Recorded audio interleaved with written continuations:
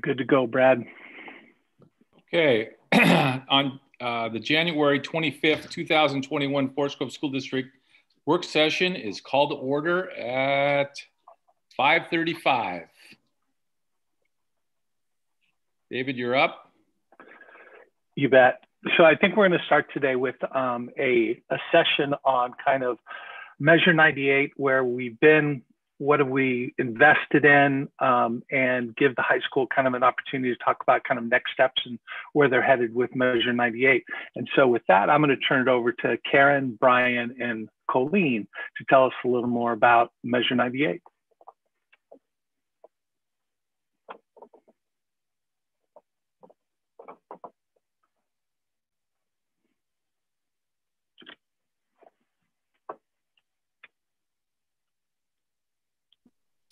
All right, as we get going here. Well, good evening, everybody. Um, let's get this up. Is it nice and big now, hopefully? Yeah. Okay, all right. So, um, so we have a lot of um, information to share with you tonight. It should only take, I don't know, hour and a half or two hours or so. Um, just kidding. Um, we scaled this down quite a bit. We presented last March to you guys on Measure 98. So we've got some new stuff to share um, and also some new data, obviously with um, COVID and the shutdown. Some of that data um, isn't quite up to date, but um, we're gonna start off with just demonstrating that um, our demographics are constantly changing. And obviously those of you that have been around the district for a while, um, they've been changing for quite a while, but um, our Latino and Hispanic population up close to 56%. Um, that's just up a couple percentage points from last year. Our Caucasian down to 38 and our other has, has jumped up um, quite a bit. Same thing with economically disadvantaged. Last couple years we've been in the 50s and now we're up close to um, 70%. So um, our ever, ever English language um, up again, a couple percentage points. Um, the rest of them are pretty much the same um, and our population has not decreased uh, much this year um, at all. Okay, so this is some of the new stuff um, that you have not seen on Measure 98. So uh, Measure 98, as you know, we've been able to spend money in three different buckets. Um, and um, ODE um, is every two years doing a, uh, like a, an evaluation, right? To, to make sure that you're using the money where you should be and that you are seeing the results that you are wanting to see in use of that money. So we actually have um, a virtual site visit with ODE um, this Thursday. And um, those top four areas, teacher collaboration, systems ensuring on-time graduation, practices to reduce chronic absenteeism, and equitable assignment to advanced, advanced coursework, those four areas must be met. And on a four point rubric, we have to we have to be in the practicing, which is a three, or in the embedded on the rubric, which is a four. Um, if we don't fall in those areas, then a plan has to be put in place, and we need to make sure that we um, are meeting those areas, or we do jeopardize loss of Measure 98 funds. So um, we have a high school success team, um, and um, when we met last time, um, we established these goals um, that we would meet. These are long range goals. So in another year, this is what we would want to see. 100% of our students leaving ninth grade on track. 90% of students having 90% attendance. And we actually put a due date of um, this coming June. 100% um, of our students taking at least one CTE college or dual credit class by the time they are leaving us. 80% of our PLC meetings will be using data to support student success. Um, this is a, a, big one that um, a lot of schools see um, a lot of not only teacher collaboration, but um, interventions identified for students that are at risk or struggling. Um, and so the use of PLC meetings um, is a big avenue to really fine tuning our instructional practices and looking at data. And then our fifth goal is 88% graduation rate. And we wanted to see an increase of 10% in special ed and our um, subgroups. Um, our subgroups, as you guys know, um, are the ones that we, we typically struggle with. So those were goals that we set a year and a half ago. These are the areas that we have spent money. Um, and a lot of this is staffing. Um, on this page, it is primarily all staffing. So, um, you know, when we first started out, we increased our CTE classes basically by taking our part-time people and making them full-time. And since then, um, we've hired a business teacher um, and expanded our computer science program. Um, we've done um, an extra counselor, an extra admin, math TOSA, um, a calc IA, family outreach, calc counselor, mental health care coordinator, a math intervention specialist, mechatronics, freshman success. so obviously, you know, if we put money into staffing, then that's that's a long-term commitment, right? Unless you're gonna um, remove that person from um, the the staffing. But um, once we dedicate the money to staffing, it's going to be there for a long term. Um, and so we tried to be strategic in putting some towards staffing to start with, and then doing some of our facility improvements in the other. So we did quite a bit, and you guys already heard that last year. We did it quite a bit in the round of um, just bringing our um, our classrooms in CTE up to industry standard. Okay, so ninth grade on track is a big goal of Measure 98. And so this 100% of students will leave ninth grade on track is, um, is a huge focus because um, students that are on track at the end of ninth grade are three times more likely to graduate on time. To be on track, they have to have six credits um, by the end of their freshman year. And, um, and so these are all the things that we have done um, or added positions we've added um, over the course of the last two years. We have added a counseling position, we have a family outreach, attendance, um, an administrator. We have a ninth grade success team that is working to, with um, North, Northwest Regional ESD. Um, these are data driven meetings. We meet regularly um, with the ninth grade success teams at Northwest Regional at least once per every six to eight weeks. Um, we've got our data teams meeting on a regular basis, um, at least every six weeks. Our freshman success team is meeting two times per month. We've got AVID at the ninth grade. Um, we have a mental health care coordinator that's really supporting our ninth graders. Um, we've got after school academic support. We have um, homework club happening and summer school options for some of those um, some of those ninth graders as well. We've been really working on this goal consistently for the past three years, um, and you're going to see that on this slide. So you can see um, our trend data over the last three years, and we've got some preliminary data for this past most recent year. unfortunately, unfortunately, because of COVID, um, ODE is not reporting ninth grade on track data. So these are numbers um, on that far right hand column um, from Synergy, which is what is reported to ODE, but ODE is not officially reporting this data. Um, you can see that in 2016 17, our data was pretty rough. In 2017 18, we joined the Northwest Regional ESD Consortium and implemented some strong data teams. We used Measure 98 funds to add support personnel as well. And we've had a strong return on that investment over the last three years. You can see overall from 2016 17 to 2018 19, um, we went from 75% of students being on track by the end of their ninth grade year to 85%. Um, I believe that we were on track this last year to also meet at the very least or exceed that 2018 19 number prior to COVID. Um, at semester one, we were hovering right around 85%. Um, COVID did impact um, grade nine pretty uh, negatively, and we quickly scrambled to continue the supports we had in place during in person, but ultimately our percentage dropped a bit. Um, however, you can see that we have really um, impacted a lot of those subpopulations that Karen was referring to. Um, our economic economically disadvantaged students went from 66% to 81%. That's a huge increase. We went from 60% to 79% with students with disabilities. Um, we've just had some incredible growth. Our ELLs, 51% to 75%. So we are really excited to continue this work. Um, and we're really excited to see what our um, data was gonna look like last year um, and then and then COVID.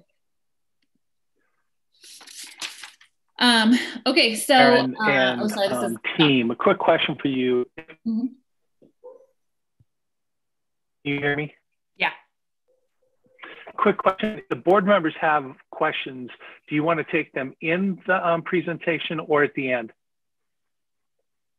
I'm good either way, honestly. Am I, are you losing me? Can you hear me? Yeah. Um, do you want to take questions as we go or at the end? Um, we can take them as we go. Okay, great. There's, I just know a couple of the board members may have some questions. Just want to clarify that. Thank you. Yeah. And then Brian, is this you? Yep. So goal two of Measure 98 was to that 90% of our students would have 90% attendance by the end of this school year. Um, and the Measure 98 additions that we added to try and reach this goal would be the attendance family outreach, hire a classified position. Um, that member serves on our attendance team, and that's headed by our dean of students, and they're they're doing an outstanding job over this whole school shutdown. We can talk about that a little bit more later. Um, also, just student supports for academic, social, and emotional. We hired an additional counselor and additional administrator, and part of their duties is to help in those interventions for attendance and academics. And then our new position this year is the mental health care coordinator. And she's already had 89 referrals uh, sent her way this year. And of, of those 89 referrals, 45% of those students are in that critical risk for attendance, which means they're below 90%. Ryan, this is Marcia. I have a question. Okay. Um, or for uh, Karen, based on the few slides that you have shown, um, and you've talked about, you know, this Measure 98 in the allocation of staff, what percentage of the staff that you have hired to do this prevention work um, are actually populations of color? So are they, um, are we closing the disparity of the um, students of color versus the uh, staff that are being hired? That's a that's a great question. Um, and if we um, take a look at between the CTE um, and um, attendance outreach, so I would say of color, I'm looking at my list here, um, we have hired one, two, three, four, five staff of color um, within those positions. Out of how many? Um, out of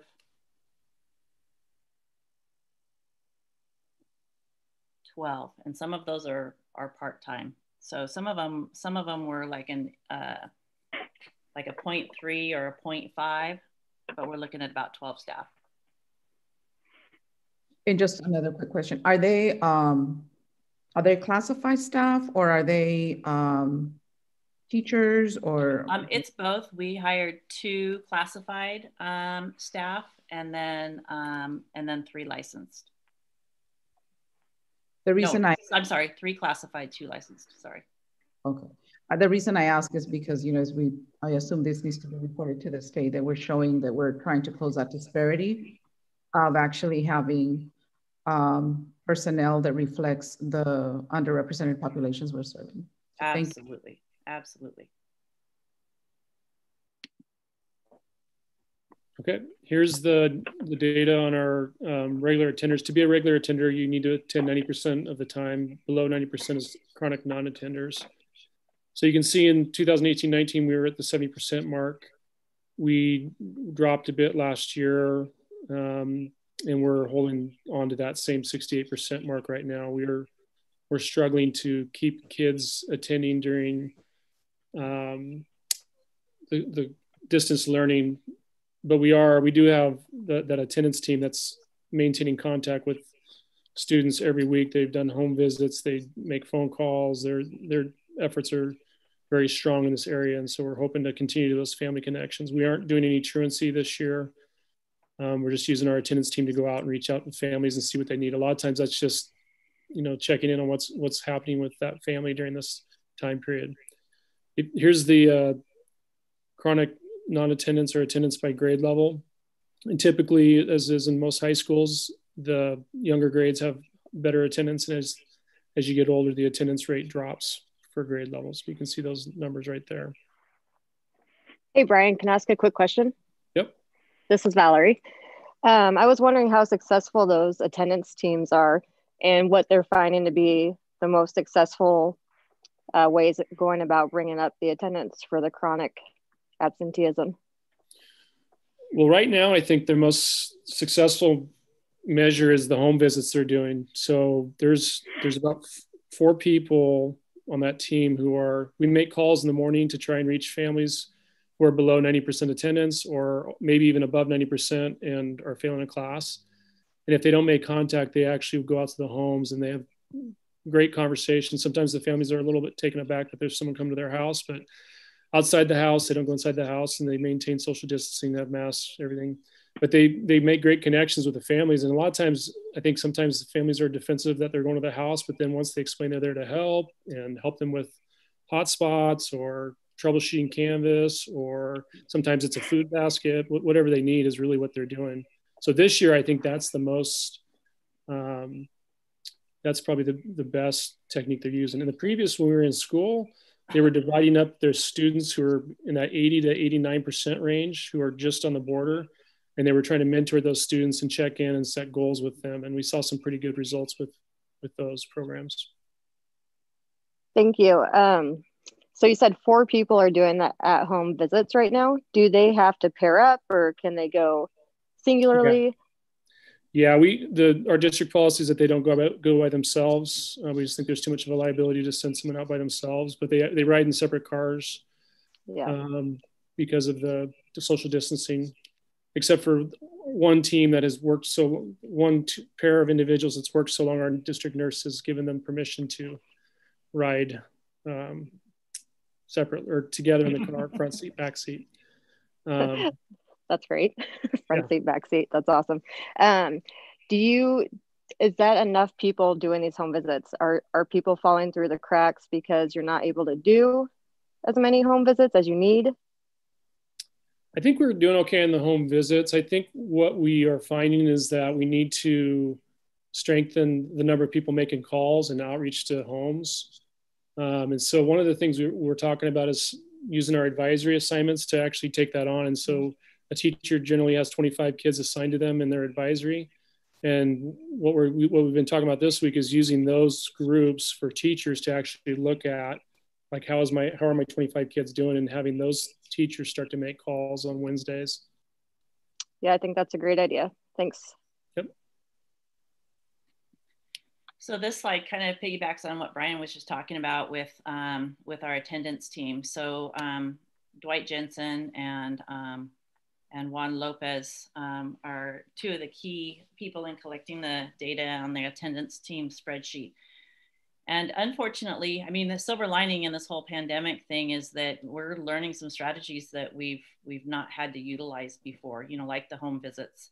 Um, and with this data, um, one thing that um, the attendance team is getting really good at, and Brian um, talked about just a minute ago, is um, really taking a look at. So, okay, so you're um, your chronic absentee or anything, any kids below 90%, right? So um, how many kids do we have that are just really close? Um, and, um, and then how many kids do we have that are clear down in that 20%, 30% attendance range?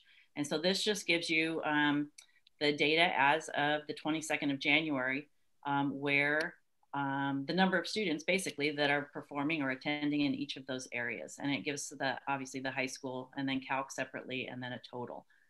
Um, so we do have a, a, good chunk of kids, one that, that got perfect attendance. Um, and we did send some um, recognition home to them, some certificates and stuff. And then a large percentage of kids between um, 90 and 99%.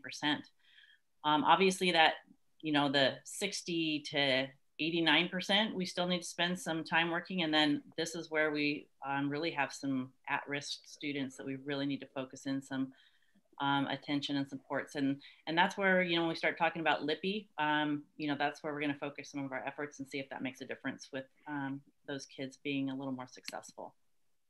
Karen, if I can just add to yep. some of those numbers at the at the bottom too, we're, we're not allowed to drop 10 day drop students this year uh, with the OD rules around and with COVID. So some of these, some, some students normally would not be on this because they would have, I mean, this isn't great, but they would have dropped by this time. So we have some non-attenders that we continually trying to reach out to. but that's your your one to 19 percent. Sometimes your 20 to 29 percent are those students who are not engaging at all, and despite like weekly efforts. So, good point. Very good point. So how? Uh, this is Brad. I got a question. I don't know Brian or Karen either way. Mm-hmm. Um, so how do you define attendance? So if you if you if you have somebody log into a class and then log out again, I mean, it, how, how I'm sure there's a definition for attendance in terms of online learning. Yeah, there's there's asynchronous attendance and there's uh, there's regular attendance. And asynchronous is what you just described, where a kid maybe logged in but did not stay the whole time, or um, th- that person didn't attend the whole class. And they're marked asynchronous, meaning they they were, which was what the state has defined it as. They they didn't attend the whole time, but they made contact to the, the teacher on that day. So we, we have those coded and our attendance team actually will make calls to parents and families who have kids who start to have multiple asynchronous absences. Okay, thanks. Yep, we do have some kids who are purposely asynchronous. We have an asynchronous agreement that we, where we meet with a family. The kid might not be able to attend a certain, especially like a first and second block, because they're maybe the oldest in their house and they're trying to help their younger siblings navigate their classes and so they may have a, a, class where the family and the school has agreed that they're they're not going to attend the class live but they're going to watch a recorded uh, session and attend and and canvas tracks that when they watch that so thanks brian yep so then our our goal three um, and this this encompasses um, many areas not only um, cte but also our dual credit classes that could be through willamette promise um, pcc but also AP classes. And so here we've got some of the strategies we've utilized, um, obviously increasing the number of classes um, and really supporting the pathways.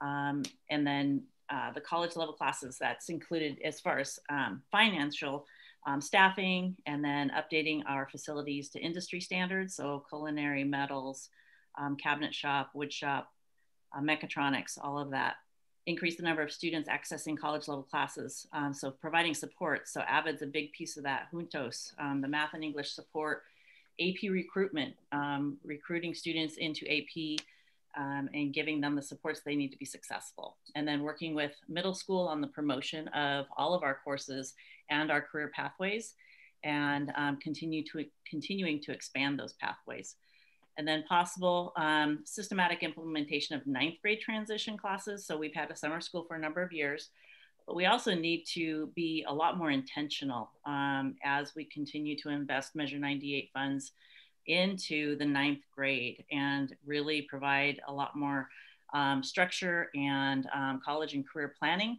for that grade level. And then following that up in later grades. Can I jump in on this slide, Karen? Oh, yep.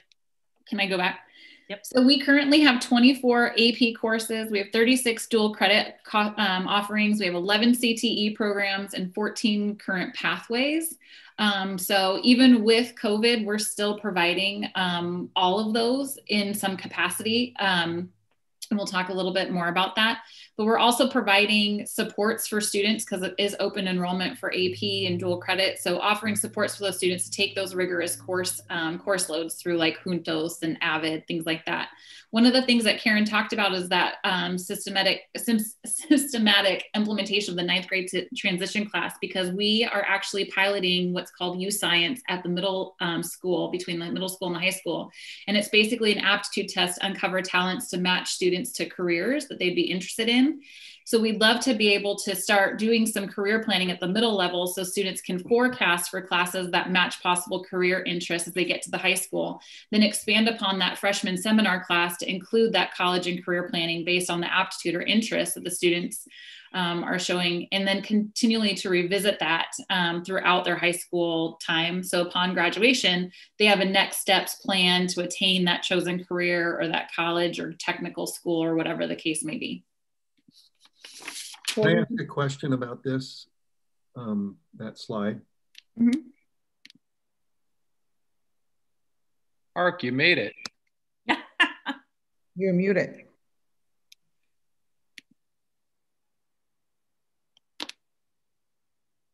You're still muted, Mark. I'm sorry, are middle school students able to take high school courses in in the CTE, any, any of those areas?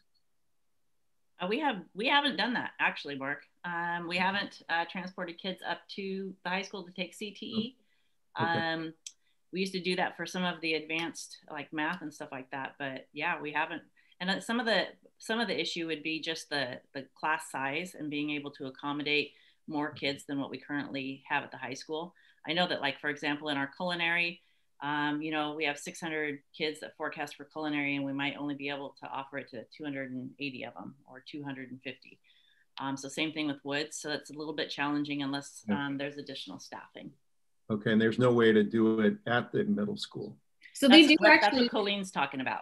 Oh, they okay. do have some programs down at the middle school that okay. support that are kind of like um, intro classes for like our mechatronics program. They have Aquabots down there. They also have um, a robotics class that's really great at um, getting kids ready for mechatronics. In fact, if they take some of those classes, they can skip over mechatronics one um, at times to be able to go straight into the next um, class. So there is some bridging between the two, but we definitely want to continue um, that. Uh, that work with them so that we can get kids more on a career trajectory by the time they get to the high school. Okay, but none of them are for high school credit, even though they can skip a high school class, right? Not yet. Okay. Is that is there a barrier to doing that? Is there a reluctance to doing that, or do you know what I mean? You said that they could take a course at the middle school that would allow them to skip a course at the high school. Is is that? Do you know what I mean? I is that what? Why wouldn't we do that? Why wouldn't we? That's definitely something we could talk about. Yeah. All right. Colleen, I want, this is Narset. I just wanted to add, um, Dave can probably help me out here too. The uh, Portland Community College um, program, you probably already know what I'm gonna say. So um, used to work there and um, so I'm, I'm, glad to hear that they're inquiring to work with uh, Forest Grove School District in regards to the TRIO Talent Search Program, which would be ideal for college prep, prep courses starting from the middle school. So I hope I hope they're able to use our data so we can get that grant. Yeah. We've been we've been pulling the data for them and we just haven't figured out i don't think they've responded yet with like do we still qualify for it but we've been um, working with them so i'm hopeful um, that that's going to come forward for us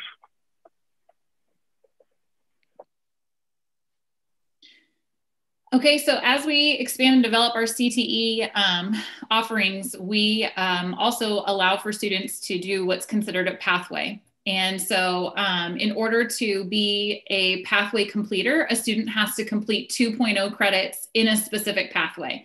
So um, last year in 2019 20, we had 172 students who completed a pathway. Some of them were able to complete more than one pathway and earn a cord for um, more than one pathway. But you can see on here that um, our ag science department had four people, um, four students who were able to complete at least 2.0 credits. Um, business had 14. These numbers are continuing to um, increase as our offerings continue to increase. But again, we have 11 CTE programs. We have 14 pathways. We also have six programs of study, which is um, students who take 3.0 credits in a given um, in a given area. Um, our juniors use their transcripts to then forecast for their pathway completions um, last spring. So prior to COVID, we were um, excited for them to get going on um, finishing pathways. Um, but COVID hasn't limited our ability to teach many of our CTE courses. A few of the upper level courses have had to wait for in person. Um, so these numbers could be impacted for this year's seniors, but we're really hoping that's not the case. And one of the goals in, in, in providing these opportunities is to really make sure that we are recruiting um, underrepresented students um, within those areas. So um, for computer science, for example, um, not a lot of not a lot of female students are taking computer science. So um, it's really trying to recruit um, students that don't typically take those take those classes, and then lead on to AP classes as well.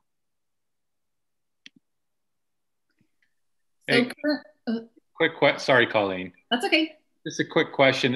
In terms of, you know, just the data, when you say increase, have we, I know it's a weird time right now with COVID and everything, but have we baseline where we are right now in terms of the current numbers, increasing those numbers and, and the target population so we can kind of set a baseline, determine what our goals are going to be, and be able to quantify that? Have we done that or has just been a weird time with COVID? Are you talking specifically with the pathways or participation well, in classes? In classes and numbers. And when you target, say you're targeting a certain group, mm-hmm. um, do you set goals like that and then really set some, determine how you're going to accomplish those goals? Yeah. Um, uh, Colleen can probably expand on this. That makes sense. Yeah, Beth Mullenkamp gives us uh, just a ton of data on um, students that are represented in, in every single one of these classes that we articulate. And so it's it's a big push, and it's um, you know it's just trying to level the playing field and, and make sure that we there aren't any barriers, and if there are barriers, then to really figure out what those are. So another example would be you know um, female students in in metals class. Okay, so and and I mean every high school across the state has had that challenge, right? So it's interviewing kids, it's trying to get an idea of what they perceive the barriers are and then figuring out ways to remove those barriers. We have to do the same thing with our AP classes, right? Because some of our AP classes aren't representative of our student population. So then what can we do to remove those barriers and to provide support for students that might not feel comfortable in those classes? So um, absolutely, um, a lot of data there we do a lot of um, trying to recruit what, what's considered a non-traditional student into our CTE um, courses, and um, non-trad is usually a female um, in terms of some of our CTE. And what is awesome, as Karen was just saying, that our computer science program, for example, we've had a really hard time, um, you know, trying to increase our numbers of females. And this year, we just got noticed or notified today that from our numbers last year, we earned the AP Computer Science Female Diversity Award. We were one of 232 high schools in the country um, to earn that award for expanding female access to AP computer science and increasing gender representation. So we're pretty stoked about, about that and um, just that some of our um, underrepresented students are being able to um, access a lot of our CTE as well as our AP and dual credit courses. Um, and that's really what this slide kind of goes into. Karen kind of spoke to it. Thanks. Mm -hmm. Um, okay, so a CTE concentrator is um, somebody who takes at least 1.0 um, of a class um, in any specific pathway. So a pathway completer earns a cord after 2.0 um, credits, but you are considered a concentrator if you've taken 1.0 credits in any specific pathway. Um, concentrators, according to ODE, are 25% more likely to graduate on time than those who do not take CTE courses. Um, so you can see that 95% of our students who take 1.0 credits um, in any specific pathway are graduating um, on time. 78% um, of our Latino concentrators graduate on time, which is the same as the overall grad rate for our Hispanic and Latino students. And this is where our future planning for ninth grade success is going to come in because we need to identify career goals for all students or plan for college opportunities and then revisit those plans post graduation um, for post graduation each year so that students know what they need to do to accomplish their goals and then work with their counselor to create a schedule of courses to support those goals and aspirations. I have a question, Colleen. Mm -hmm. And Karen might have answered it earlier, so I apologize. You mentioned that uh, hopefully each of the students will be able to work with their counselor to be able to come up with a plan. Mm-hmm. Um, do we have enough counselors to do that? Um, I know that the ratio is crazy. It is crazy. We could always use more counselors. or is there another, or is there an idea to hire other people that are non-counselors that could be like, and I think maybe you already have them like coaches or academic coaches or I don't know, just yeah, no, you're right, Narce. And the the counselor to student ratio is still um, not where we would want it, um, but it's better. It's a heck of a lot better than it was, you know, several years ago. We were down to three at one time, and and we're up to five caseload counselors. Again, not not an ideal um, ratio, um, but better. And um, yes, ideally, we would we would um, have, well, if you ask our counseling team, we would have at least one more, if not two, but um, yeah, we would like to bring those numbers down a little bit. Yeah, because I'm just, I worry that how are we going to do that? Yeah. Well, and, and that's where we've um, been intentional with some of this money to really hire some of our family outreach, the mental health care coordinator, you know, just making sure that um, that we're trying to be very, like I said, intentional about surrounding, um, you know, our our students with um, the supports that they need, and then figuring out which supports are are making the biggest impact, and then moving forward from there, right? because we've never had a mental health care coordinator before, but I tell you, she's rocking it. Um, she's doing an amazing job. And so, you know, um, so now that we see that, we kind of see what's working, and then we can move forward um, with, um, you know, a lot more knowledge in in what what is having a positive impact with the kids. So, great question. Can I ask a question about the Willamette Promise that's on this slide? I might get to it in my. Oh, I'm um, sorry. Okay. okay. I bet I know what you're going to ask, Mark. Okay. All right. I'll wait. I'll wait. Okay, so um, this slide, I won't read it to you because you guys can obviously do that, but over $800,000 in credits have been earned over the past two years. Almost 6,000 credits have been earned in the past two years um, through PCC and Willamette Promise. Um, Willamette Promise saw a bit of a de- decline this year, um, in our especially um, because of our Spanish dual credit offerings, which is why um, there are fewer credits earned. Our Spanish dual credit was not possible due to COVID because of the requirements for earning the credit um, last spring. And so um, those courses are back, and I know that they've worked really hard with Willamette Promise to try and make those accommodations for distance learning. But it does, it did cause us to um, lose out on some of those credits that, that students had anticipated. Um, we are also um, increasing our Willamette Promise um, offerings. Our AP Psych um, is going to be offered uh, as dual credit for the first time this year, so that's really exciting. Um, and then most of our CTE courses are actually um, partnered through um, PCC. So a lot of our students who are taking CTE um, courses as dual credit are working with um, PCC and earning PCC credits. Does that answer your question, Mark, a little bit? Yeah, I know we were kind of bummed out when we saw that too, but COVID. Yeah. So I don't, Colleen, Brian, I'm not sure which one of what you I'll, guys put up on here. So the fourth goal doesn't really have a financial impact in terms of Measure 98, but since it is one of our goals, we thought we'd briefly cover it. But it's just basically that 80% of our PLC meetings with teachers will use student data. Um, and so basically we can, we can, the evidence of that is in our PLC minutes and agendas. The idea is that the teachers should be using PLCs not to plan, but to, to talk about student performance, whether that's the previous summative tests or the current formative assessment that can show how the kids are going to do and talk about best practices. We also have data teams. Um, I'm, I will not spend too much time on this since I think we're running pretty long, but if you have questions, go ahead and ask on that. Okay. The other, other part of the collaboration and using data is the school-wide system of AVID. I think a lot of people think AVID is our two elective classes where we have our AVID students and they're, they're receiving support throughout the four years, but AVID is actually much bigger than that. What it does is it provides a school-wide um, system of instruction of base, best practices, basically using writing, writing, inquiry, collaboration, organization, reading uh, skills. And so by, by having teachers that are trained in AVID strategies, it just raises our overall school achievement, our overall school culture.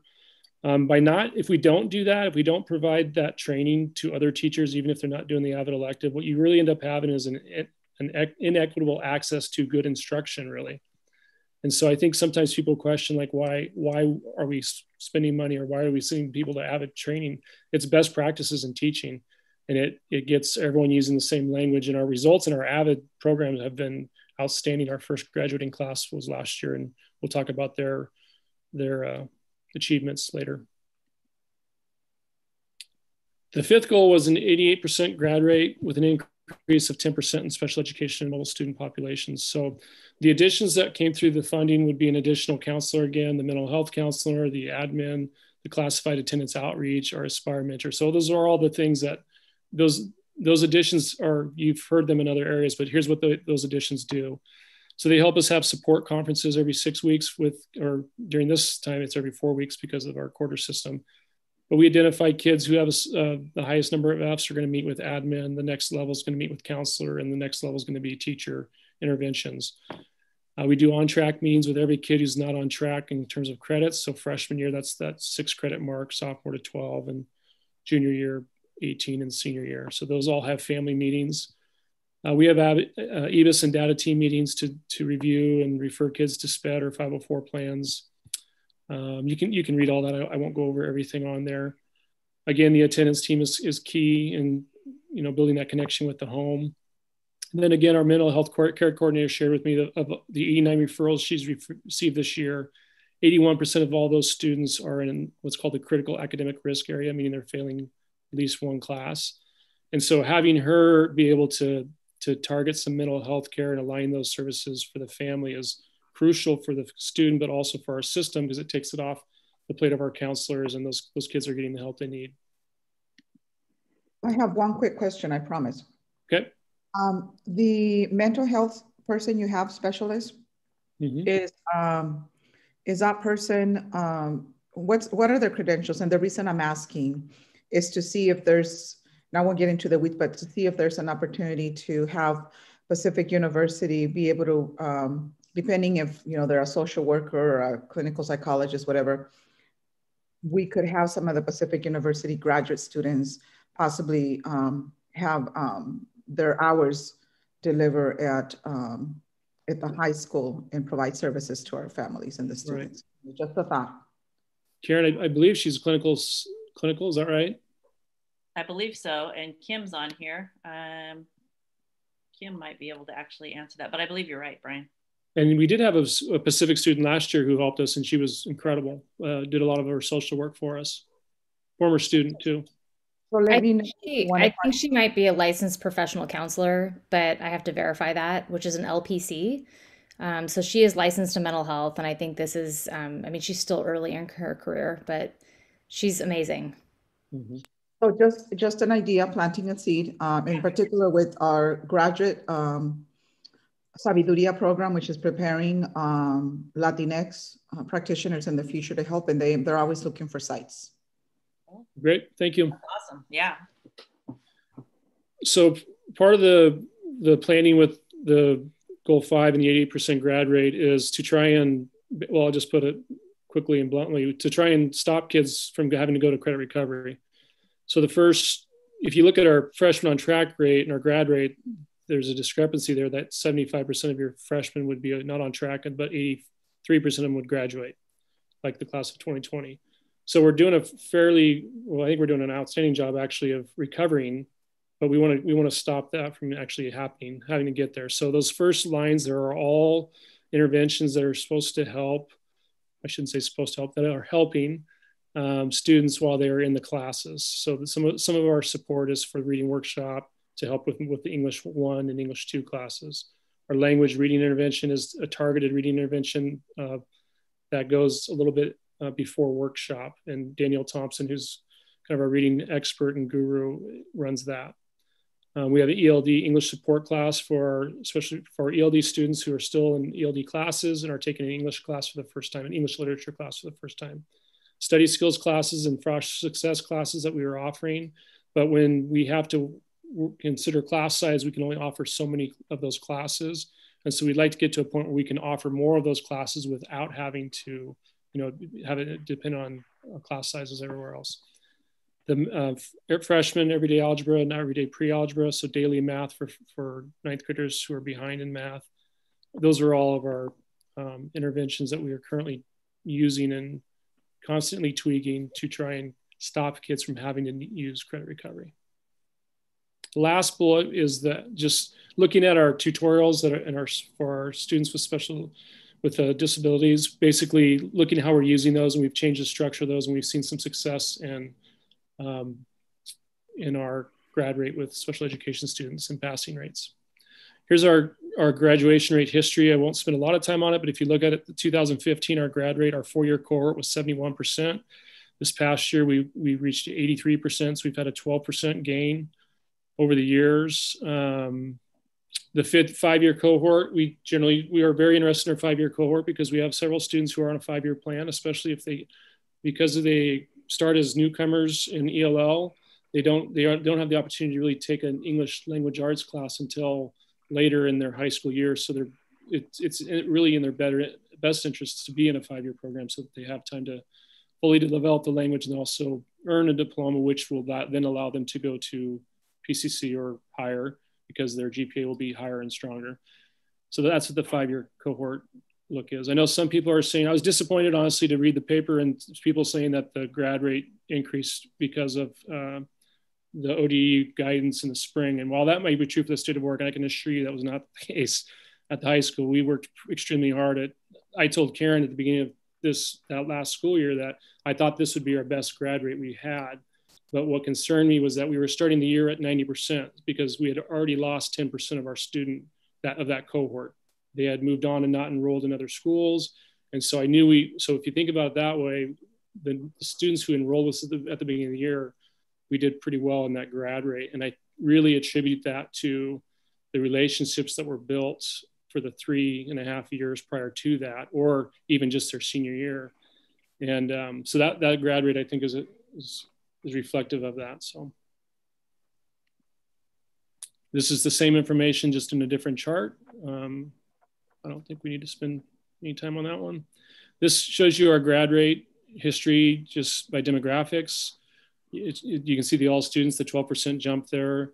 Latinx um, improvement from the 2014-15 has gone up quite a bit to this 80%, a little bit of drop off in the last year or two, 78, but fairly steady. Uh, economic disadvantages has had a jump. The one that we, you know, one thing we're proud of this last group is our SPED has jumped up 13%. Remember, our goal was 88% with a with a 10% increase in special education students uh, with special education services. So 13%, we've met that goal. And then we, we definitely know that we need to continue to look at our ELL or, or ever English learners and then that grad rate as well. Questions on that? Okay. So this next slide is just, so this, we talk about, um, you know, um, students coming to the high school and just what interventions, what academic supports they need. Um, and this is just um, the class of 2020 that we just talked about um, and that grad rate. Um, this is this is how they finished eighth grade and came to us. So um, like Brian said, a lot of the everyday algebra or pre-algebra, um, we have a, a, lot of sections of those. So basically with this data, we're taking those 208 kids that were below grade level and, provi and providing some academic supports for those and same thing in reading with 158. So um, we're just trying to analyze where students are struggling and what best academic interventions to provide. This is the AVID senior data that um, Brian referred to earlier. So just a reminder that AVID um, is for the academic middle. So these students, um, as they went through elementary and middle school, um, weren't necessarily your highest achieving kids. They were the academic middle. And with the supports provided by AVID um, and the AVID tutorial, starting from their freshman year and going all the way through their senior year, this class made some amazing accomplishments. Um, you know, you can see the valedictorian honors diploma, um, the GPA, seven Act Six scholarship finalists, um, and then one of those, um, the winner for a full ride, another full ride. Um, just some amazing data. And then um, they also dealt with a lot of hardships throughout that. So seven um, were McKinney-Vento throughout their four years in high school. Um, but AVID um, provides that support. And so using this data and using what we know about, um, you know, the AVID um, and WICOR strategy school-wide, um, making sure that we provide those systems for every kid so that they can have those barriers removed to accessing anything that they want. So here are some areas that we are continuing, continuing to focus on with Measure 98 funds. Um, again, like I just said, some targeted academic interventions and support during the school day.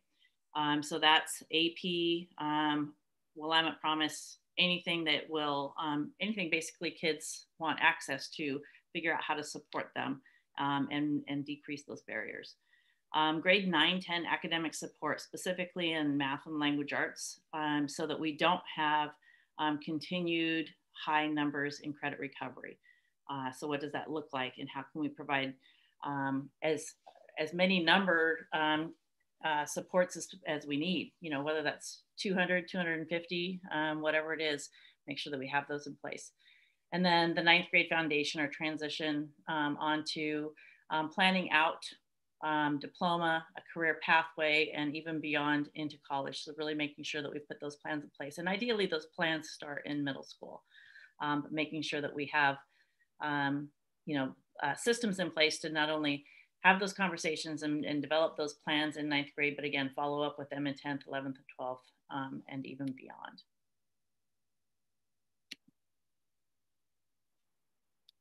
And I don't know if there's any more questions because you asked them as we went along. I just have one. Is there a, is there a, maybe I missed it. Is there a, um, a number of, or a percentage of students who enter and have take workshop classes?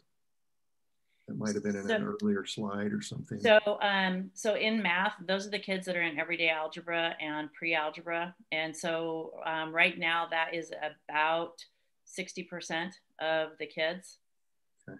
Reading has gotten, reading um, has gotten better um, over the years. And so that was, I believe, if we go back, I think that was down below 40%, maybe closer to. Oh, these, okay, I see. Yeah. So the numbers are there, but it's not like a percentage, right? Yeah, it's not really like a percentage. Okay. So you think it's under 40 though? Yeah, well, it looks like it's maybe a little bit above 40. Okay. 45, 48. Karen, for the number, uh, there's a one of the graphs that you showed that uh, I think it was completion. Yeah, that one for the ELL. Uh huh. Are the interventions that uh, you and your team have been talking about? Um, is there any particular specific uh, interventions for this particular population? Yeah, so that um, the English support. So what we are finding, um, and and Brian can chime in too. What we're finding is that um, students um, in our ELD program, um, they would have to double up on their language arts in their junior and senior year, um, which was really, really taxing. And so, um, so we've we've analyzed and adjusted that. Um, we've also got um, um, some really good teamwork going on in our ELD program that's that's really taking a look at each and every kid, their progression through ELD um, use of the ELPA, but also just um, a lot of their speaking skills. Um, and so they're just they're just really spending um, quite a bit of time in analyzing that data, and we're just we're just trying to figure out where the strengths and weaknesses are of the program and then figuring out how we can how we can really support the eld um, students. Not only those that are in but those that have been exited. One of the challenges is that the portfolio exit um, has has not been um, something we've been able to utilize the last two years, I think it is. Um, so that poses a little bit of a challenge because that ELPA test is extremely, extremely rigorous. Okay, thank you. Okay, I, I have a question, um, Brian. How do you uh, you talked about last year's cohort, that feeling you had? How do we feel about this year's cohort right now? Because it's just been uh, well we all know it's been rough. Mm-hmm. so i guess that's the question. Are, are, we on track this year or do we feel like we're we're going to see some differences? Um, unfortunately i don't think i don't have a good feeling about it. And i had a i had a better command of the class of 2020 because i was their admin all four years. This group is new to me in terms of you know monitoring tracking them. I've tracked the off track students but we've had basically two administrators go through with this class. And so now i i'm getting them you know here in the middle of distance learning. So what i'm seeing is not good. And i'll i'll i don't i would have to look and see who we've lost this year already. And then um, the other thing i'm i'm you know when i talked to Colleen and karen about this is like one of the reasons i feel like that ninth grade careers for all students, which I maybe haven't always been on board with, because we're having a really hard time talking some seniors into the idea that the diploma is important at this mm-hmm. point. They're working a lot of hours and they're making, you know, pretty good uh, money. Am I still on? I think I just lost hope. I am on. Okay, yeah. sorry. My computer went blank. Basically, they're making money and, and we're, we're having to convince them that diploma is important for some of these students. And that shouldn't be a conversation we, we have to have at this point. So it made me think, and we all talked about it, we have to go back to that solid foundation. So that's not, that's a no brainer.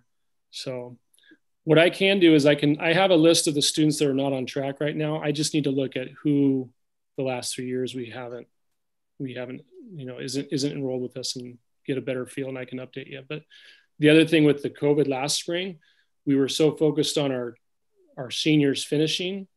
And the, the junior at that time when, when this when we're in normal school i'm usually meeting with all the juniors that are not on track and i'm doing family conferences with them in the spring and talking about summer school and all that and that was really difficult to have last year when so that class is feeling it right now but you know, we're seeing some some positives, and we just got to power through here. But I can give you an update for sure. I'd appreciate. That. I I I kind of knew the answer already. I had a feeling what the answer was going to be, but um, so it'd be nice to know kind of where we are compared to where, where we were last year, though. Yep, definitely. Thank you, Ryan. Just one last question, Karen. I have some other, I, just a couple, of, and I don't want to take time now to talk about it, but they're related to the workshop courses. Can I just email you? Oh, absolutely. Okay. Yeah. Okay. Yeah, absolutely. All right. Thanks. And the um, Mark, one thing on the workshop classes, the reading workshop that we um, that we've used for a number of years now, um, we just haven't had um, the FTE to offer as many of those as we have in the past. Um, and so um, that's one area that we might need to take a look at again with the Measure 98 funds hmm. is um, some targeted reading intervention more than what we offer now. Okay. Yeah. Those, those reading workshop classes have changed too. They're, they're more they reading intervention, but also support for English freshman English class or okay. whereas before they were more tied to OAKS and things like that. So okay they're more of a support class too. Okay. Well, I think uh, I think we got I think we're wrapped up here. So, um, thanks very much for the presentation. Uh, as usual, lots and lots of information there, and and uh, we could probably talk about this for quite some time, but we're always cut short. So, sorry, uh, we were told we had 20 minutes. we went way over. Isn't that how it always is? Oh well. Okay. Well, thank you very much for the presentation. That was uh, was really informative. So thanks very much. We'll uh, uh, we'll close the work session at this point and uh, reconvene in maybe a minute or two. Just probably a minute for the. Or I guess do we go right into the we'll go right into the board meeting now? Uh, yes. Thanks, guys. From the high school. Great presentation. Thank you. Bye, guys.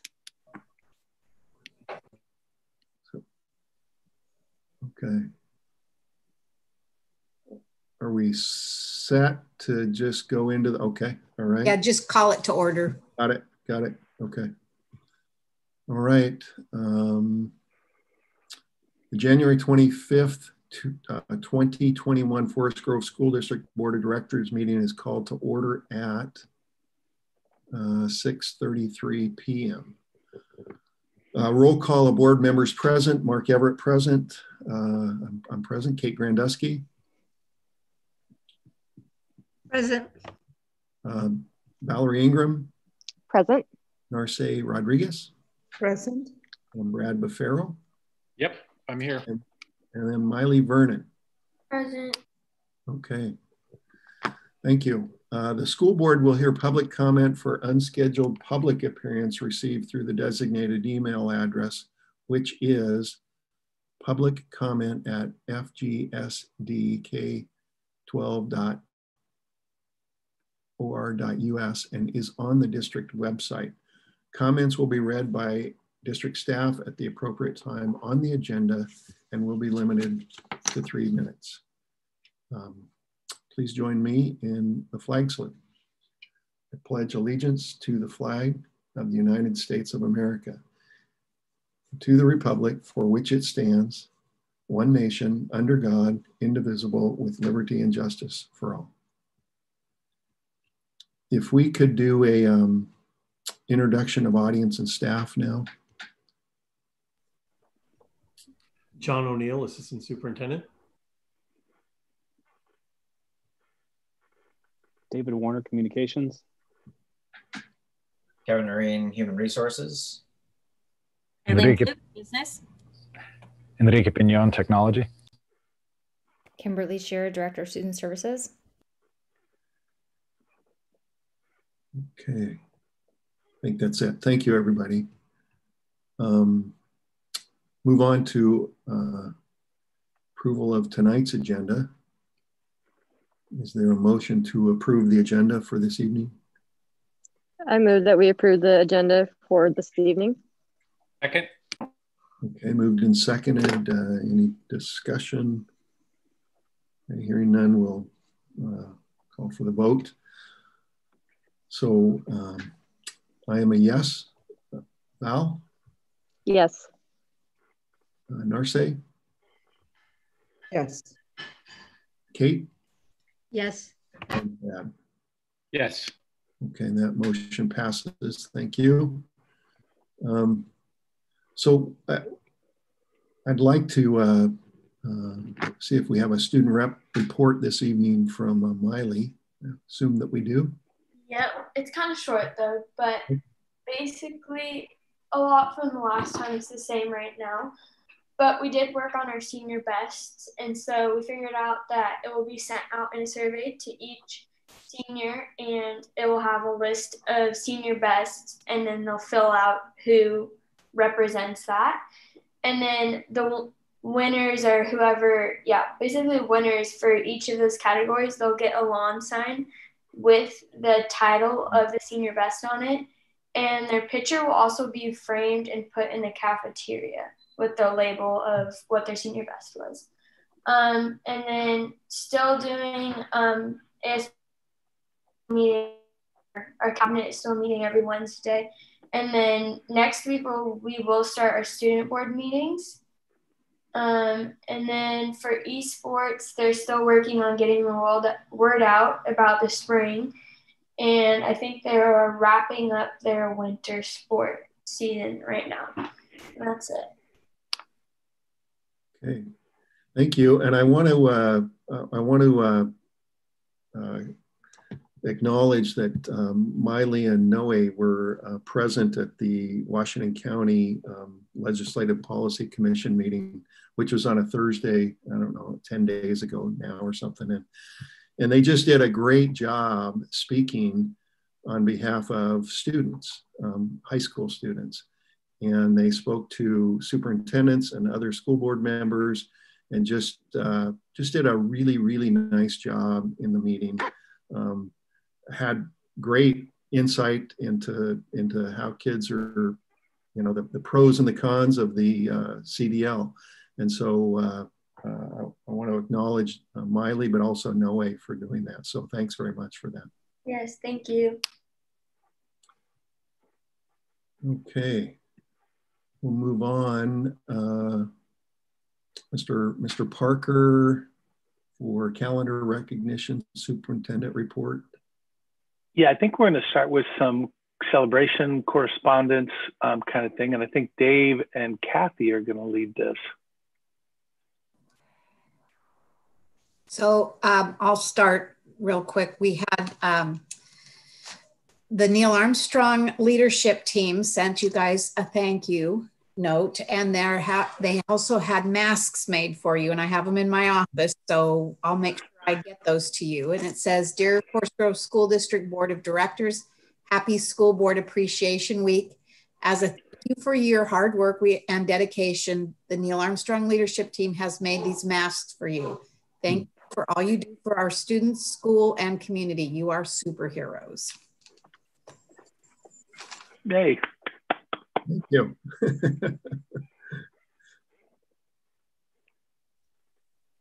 All right. Well, um, another, we wanted to do something a little bit different this year um, to showcase some of the, the great work of um, our students. Um, so Kathy and I worked together with uh, the high school art uh, department and worked uh, specifically with Gwen Hollinger uh, to identify a few students who would want to do an, uh, an art project to showcase some of their talents and to show uh, what what great work our, our high school art students are doing.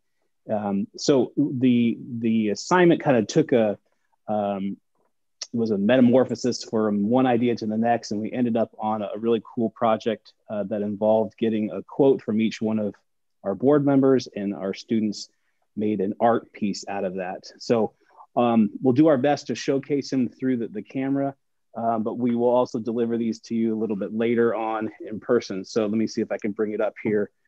I might have to turn off my background here. Give me one second. I apologize about that.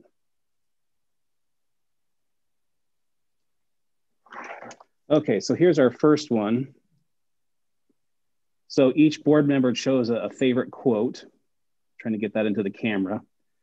So I think these really turned out great, great. Gwen and her students worked really hard on trying to get these taken care of and they're framed. Um, we also will, um, Gwen asked them some writing prompts to, to give you a little bit more background on who they are as a student. This one was done by Ellie uh, Ransman, who's uh, of the class of 2021 and will be going to Linfield College. So that's number one. Thanks, Ellie. It looks great. Thanks, David, for sharing. Of course. This is the second one, um, a little bit smaller. Uh, this is was painted by Emily Fan, who's also of the class of 2021, and she is waiting on Ivy League announcement day. Wow. wow. That's nice. Very nice. Very beautiful. And as that is about libraries, I think that was for Brad, right, Brad? Just kidding. That was for Kate there. Um, this one, uh, Narce, maybe you can help me. My Spanish is not very good, but this one is by um, Lauren Miller, who is the class of 2021, and mm-hmm. she'll be attending George Fox University. Well, that's actually, yeah, Gloria Anzaldúa, one of my favorite uh, writers. So it's, I'll read it in Spanish and then I'll translate it. Caminante no hay puentes, se hacen al andar. What it means is, um, it's weird to translate, but it's just saying those of you that walk, the, the journey does not have bridges. You have to make the bridges along the way. Mm-hmm. That's awesome. Thanks, Narce. All right, we're almost there. This one is was painted by Azur Rio, who is of the class of 2023. Yeah. All these are really, I think, turned out really cool. Yeah. Okay, and the last one, this one was actually done by Gwen, who is class of 1992. And She is the art teacher at, uh, at the high school. Oh, uh, one of the, the students uh, could not uh, meet the deadline, so she picked up the ball and continued to run with it. So, so those are all Great. the the quotes that we had done and thought that was turned out really great by uh, some of some very talented uh, high school art students. Yeah. Yep, and those are great. Kim has thanks something to, too. Okay, hold yes, on. Thanks, please. thanks to all the students, and thanks to Gwen for heading that up great. for us. That's really nice. nice. Thank you so much. So, school board, Student Services would like to thank you for your commitment to behavioral health and wellness in the district. And we really want to appreciate you for how you've helped us prioritize social emotional needs of students, families, and staff, and also students experiencing disability. And as a token of our appreciation, we have t shirts that will be available for you. Kathy has them in her office. And they say, All learning is social and emotional with Forest Grove. And they're long sleeves, so that's a bonus. So thank you for all you've done in helping us uh, achieve our goals. Thank you. Thanks, Kim. Thank you. Okay, and I think we're now into the superintendent report, and I'm going to hold most of my comments. My presentation coming up here later is too long to begin with, but I'm going to spend a lot of time kind of letting people know everything that I know right now about um, limited in person, hybrid, vaccine, and the rest of that. So I'm going to hold most of those comments for my presentation. But I did just want to let the board know that the high school principal uh, position, because of Karen, has retired, and we're going to open that up for um, for competition as our policy, the policy we agreed upon um, says. It opens tomorrow. It'll be open through most of the month. We've met with the school. We'll um, meet with parents coming up here. And so our process is off and running. Okay. Thanks. Thanks, Dave. Yep. Right. We'll move on. Um, let's see here. We'll move on to the next portion of the meeting. Um, uh, that's the unscheduled public appearance. Uh, the board appreciates community members sharing information during public comments. Public comments should be submitted through the designated email address and will be read by district staff. Public comments will be limited to three minutes, as is the protocol during in-person board meetings. Public criticism or complaints about school district personnel is not allowed at this time. Um, are there any comments that have been received? Uh, yes, we have two, so okay. I can read both of those. Okay, thanks. The first one, um, I don't hear much planning for the summer. In the governor's speech today or last Friday when this was sent, she mentioned that, mentioned that one of the reasons she wants school open is because kids are falling behind even though they are learning in the online model. I have kids in three Forest Grove schools and I'm very happy with the accommodations our teachers have, have made accommodations that our teachers have made. Last I heard, the vaccine for school age kids would be available as early as the fall. If there was a year to try year round school, this would be it. If kids could stick with online school and skip summer camps this year, we could open to kids as they get vaccinated in the fall. And as 16 years and older disabled children become available for vaccines, their programs could be opened in person earlier. The hybrid models uh, where teachers need to have kids in person and online seems particularly challenging and maybe not worth it for just a couple months of school. Alden Snow. That's the first one. The second one. Please be advised that my children in grade six at Tom McCall and grade nine at the high school will under no circumstances return to in-person learning during the remainder of the school year. I urge extreme caution in expecting teachers, staff, and students to return during the 2020-2021 school year. I do not feel that we are ready or will be ready to safely re-engage this year. My students will continue to accept the challenges of comprehensive distance learning for the foreseeable future. Thank you for your understanding. Tim and Angela Rudsill.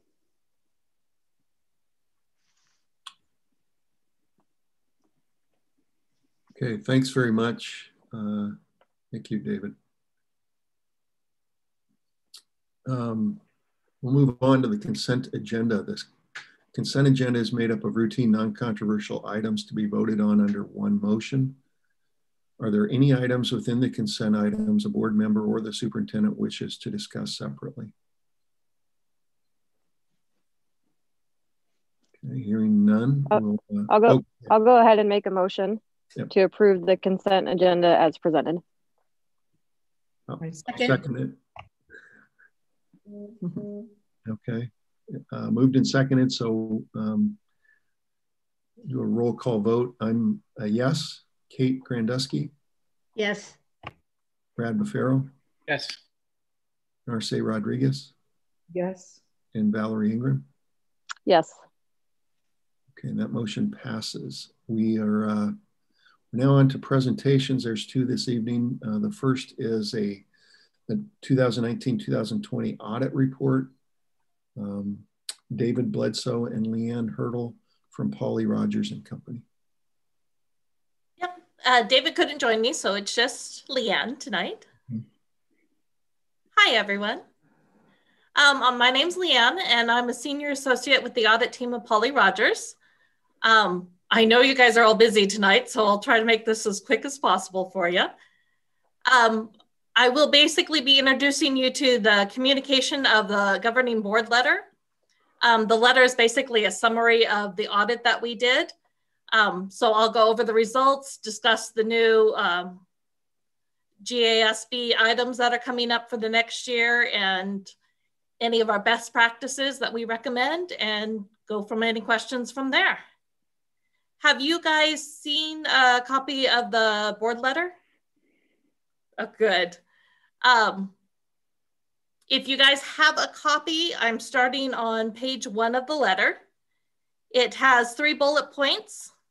that kind of say what the purpose of the purpose of the audit was kind of. And essentially there's standards that we follow and they're the generally accepted accounting procedures. Um, there are also the Oregon municipal audit laws that and the ODE that we have to apply to and the federal, state, and other agency rules and regulations that go into the federal awards that you guys get. These are all things we kind of look over and make sure are okay during the audit. Um, if you have it in front of you on page two, um, you'll see the results of the audit, which basically say we gave you unmodified opinion on the basis of on the basic financial statements um, which means it's a clean opinion, no reservations, everything looks fantastic. Um, since there are no material weaknesses or uh, significant deficiencies found on the audit, um, there's no separate uh, management letter that gets issued. Um, and that's important because uh, Secretary of the State requires a response to any weaknesses or deficiencies. Um, but since the district didn't have any, um, you guys don't have to respond to the dis you guys don't have to respond to the Secretary of State or fill out any additional findings. Um, starting on page four of the letter, we have the announcements that may affect your district. All of them were on last year's letter, including the leases, um, accounting for interest costs that incur for construction and the fiduciary activities.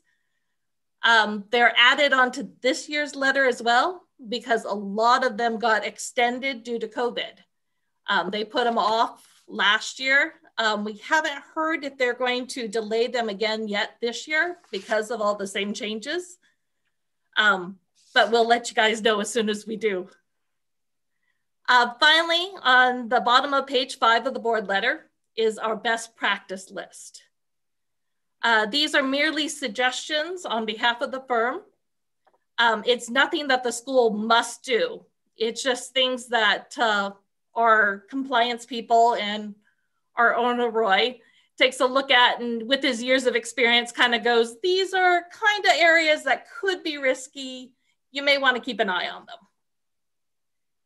Um, we don't see any major current issues that are major risks, but we, we want to point out little things for you guys. Uh, there was only three that made it onto your guys' list. A lot of the others were taken care of by your, your team and accountants that you already have. Um, fidelity insurance coverage is something that is on everybody. It's never cost effective to fully cover all the money you have on hand but we do put it out there um, just so that way the board is aware that there is a little risk there. And if it's brought up and acknowledged and you guys kind of cover it in your meetings and we see that in the meeting notes, then we don't put it on for the next year. We know you guys have acknowledged it and are aware of what's going on. Um, 403 compliance requirements is another thing that gets added quite a bit for the majority because uh, education service districts fall into this area. And basically it's just saying um, education service districts do not have service provider reports or internal control reports. Um, so there's always a risk of some things not getting um, reviewed or tested quite as well. But when we do our testing, nothing showed up. There was no holes that we saw at this point, but it's something you always keep in mind and kind of review with them on where things stand and um, how you guys are working well together. The last, oh, and one other thing we always mention on that is um, we have it in the letter that uh, the last line says, uh, if your name on the, if you're on their insurance policy, that would help reduce some of those risks. I went back and double checked my notes and you guys have that already covered. So you guys are one step ahead of me on that one. Um, the last comment we have is the consolidated bank accounts. Um, we noted that you guys have like 34 separate accounts. A lot of them is due to the different funding or the different projects or the different donations you guys have had over the years. and just trying to keep track of those. And once you get them started, you tend to want to keep those funds separate from others. But when you're doing audits or trying to manage those, that can make evaluating them a little on the difficult side. So we do recommend condensing those. Uh, your accounting teams already knows it and they do what they can a little bit every time. So I think that'll just be an ongoing note that's always on there until we get it condensed a little bit more. Are there any questions over any of those subjects? Okay. I'd just like to say we really appreciate the opportunity of working with you guys. Um, Eileen and Dustin have been wonderful to work with. Um, and especially with all the challenges of this year with the COVID and all the extra precautions you got to take with that as well. So thank you for allowing us to come and present. Thanks very much. Thank you, Leon. Very well done. Thank you. Even if I do talk a mile a minute, huh? okay. Uh, let's see. Our next presentation is returning to school, limited in-person instruction, hybrid update from Mr. Parker. Okay, hang on one sec. Um, while I get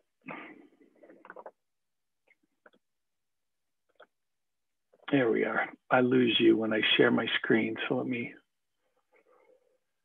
so uh, today, what I wanted to do is just kind of um, bring everybody up to speed with what we know right now is going on in the state regarding limited in person, um, some return to in person instruction, vaccine update. Um, I'm going to start this. Uh, things are changing really quickly. I know we talked, I called all of you on Friday to talk a little bit about the vaccine. Things changed drastically over the weekend. And so this morning we were rapidly trying to get caught up and be ready to um, do our part coming up. So I'm going to present this, but I'm telling you right now, it's going to change in, um, in a, just a little while. This first part of it, I wanted to um, talk a little bit about. Um, I sat through a presentation um, about a week ago regarding kind of virus predictions, which is where's this thing going to go? Where do we think um, the the number of cases of COVID is going to be in Washington County coming up? And we heard about an hour long um, presentation by Dr. Peter Graven, who works with OHSU and specifically around um, forecasting kind of where this thing's going to go. So I want to present you some of his information. And then I'm going to also tell you that things are changing even from the time that he presented this. So, but I wanted to give you this is the best information that I had. So I wanted to give this to, to you. They're tracking, um, and I'll make this presentation available to you and um, so that if you have questions, you can go back because there's a lot of information here basically in tracking he tracks hospitalized patients because it feels for them it felt like a more secure measure. And basically what he's seen over since march um, 12th is basically three kinds of waves. Um, the first one happened in the end of march the second one happened near the beginning of july and then this last one happened right at the beginning of um, end of um, november kind of beginning of December. And so there's been basically three waves that we watched um, go through our state. Um, I, I, put this on here, but the only thing that I want you to notice about this is this is just each of the different areas of the state has had a different occurrence with this, right? They have different rates. And um, this blue line here, right in the middle of it, is um, Washington County. And what you'll notice is from about December 1st we've been kind of, uh, as far as hospital stays, kind of on a downward trend. Not um, uh, other parts of the state, it was still going up, but we've been seeing kind of a general downward trend. And then this is just new cases per capita. So again, if you look at this, there's kind of, there's a little blip here at the beginning, there's another blip here, and then a third kind of three waves that we've seen go through our state here. Um, this was just looking at the number of cases um, per capita. But again, just kind of shows the interesting thing here is, is that at the end of this graph is kind of the new data, which is it was coming down. And then within about two weeks ago, we started seeing in the state a general increase in cases. And so then what he presented to us, and I'm going really fast here, but um, what I really want to get to is he started to map out as the state has made an intervention, specifically like um, we closed down everything right in March, right? Well, what began to happen and what, what this curve is basically trying to map is how successful were the interventions? And so as we closed down our state, you could see the, inter the intervention effectiveness started going up. And then people get tired. Um, they, they get tired of, of being careful and being fearful. And so they begin to venture out more. And what you see, what he mapped is basically a um, increase in the um, effect, increase in the COVID and a decrease in the effectiveness. And so what he started mapping out by looking at all the different interventions that the state did, and then looking at how the rates increased or decreased, what he notices there's like this um, curve going on which is, and he, the Dr. Graven labeled this as kind of the fatigue and fear cycle, which is people would be, as we begin to hear that things are going on, people would be fearful and then began to be very careful about their exposures. And then they would get fatigued and um, you would begin to venture out more. And at that point, we would begin to see our COVID start to take off again. And the reason this was important is because of what he began to map is that basically he's seeing this curve between fatigue and then um, uh, fear. And what he's predicting is, is that our curve is going to continue to do that basic um, thing, which is we're going to go in this kind of oscillating curve. So he's using that to kind of make his next prediction about where he thinks COVID's going to go in our state. And so this is kind of the red dots there, what what the actual was versus his um, set of calculations. And what you can see here is, is what we're being told from OHSU is they're expecting another bump here. They're expecting another wave out in front of us. He has not worked in kind of the new variants that we're seeing. So that could have an impact here. And then, but mostly he's just mapping this whole kind of fatigue that folks are having around um, COVID. Now, what I can tell you is, is that this, this second curve there used to, was much, much bigger even two weeks ago, which is his forecast was for a much larger wave. And this is coming down. And I wanna bring up where we're at. This is, uh, I send this to you every Friday to tell you kind of where we're at. And over the last three or four weeks, we've been kind of trending steady here. I met with Washington County Health this morning and basically what they're telling us is this is now dropping. And so what we're going to see is this new value is going to be somewhere around three, might be in the twos, um, 280, 289, something to that extent. I'll have it tomorrow morning is when I'll get my new graph here. But what we're seeing in Washington County right now is, is even though Dr. Graven was um, forecasting another wave, we're not really seeing that wave yet. And now, that doesn't mean it can't happen. It's just that we're seeing things begin to kind of um, level or drop off.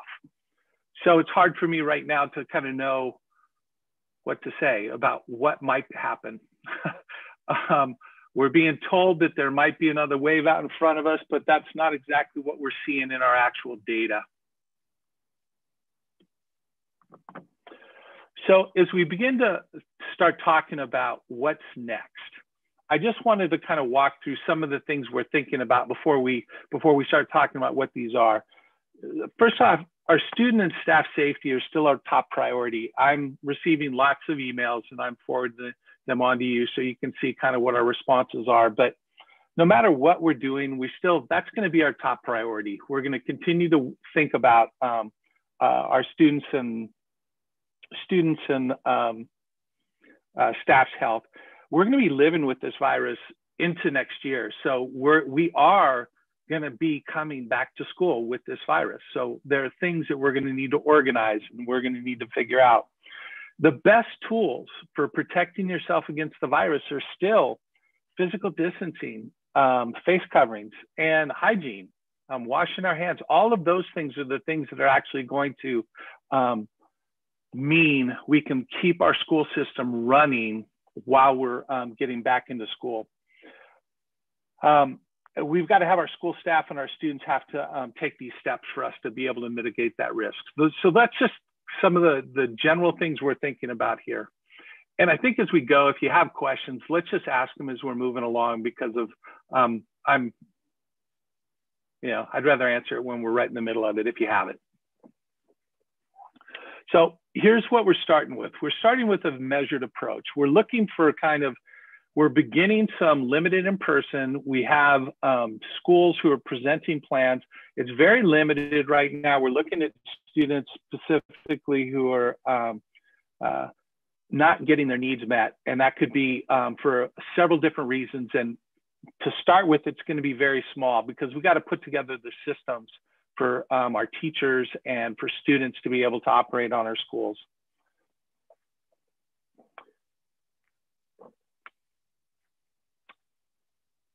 the um, county metrics, what we're hearing, um, so the governor in last Friday, two Fridays ago, um, came out and said on the 19th, came out and said that she's making the metrics um, advisory, which means that it's a local school school district decision now about what you're going to do, how you're going to um, return to in-person instruction. Um, what hasn't changed is um, Ready School Safe Learners, the guidelines that they're expecting us to follow, those really haven't changed very much. So that means that, again, six, um, six feet of space, 35 square feet per, um, per student, um, face masks, um, physical distancing, how, do you, how are we going to um, run our hygiene? All of those things are still in play. So while she's made this advisory, what I can say is really the, the, um, the rules by which we need to operate really haven't changed that much. The next thing is, is that what we're hearing is, is that if you're not going to follow the metrics, then they don't believe your liability protection that was passed in the special session in December will um, hold up. So for us, again, I think our idea here would be to still follow the metrics and not go outside of those bounds. Otherwise, we're opening up um, considerable liability for ourselves.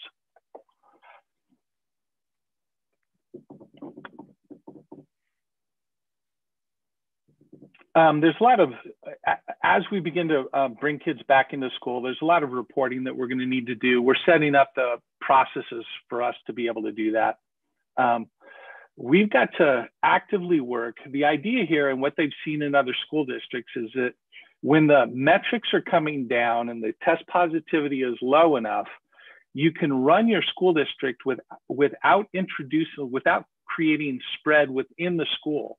You still have spread from the community to the, your students and staff. That's going to happen. But when you have the um, metrics increasing and or the test positivity going up, what they find is when you open schools at that time, you tend to be the spreader um, in your school district. So we'll be looking at, um, again, these metrics, what's the direction of the metrics, um, what is the test positivity, um, to kind of make some decisions around when we should begin to open up in a more wholesale way.